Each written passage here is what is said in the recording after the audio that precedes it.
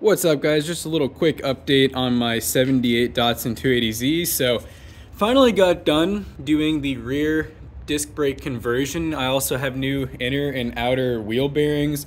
Um, so that was a lot of work. I got a new e-brake cable, had to do a lot of modifications to um, make all that work, but it is for the most part working. Um, my brakes are still pretty iffy, so I did replace the master cylinder, but I believe my original brake booster is pretty much just done for. There was quite a bit of brake fluid inside of it that I believe was leaking from the original master cylinder. So I have a new brake booster that I'm going to be putting in soon.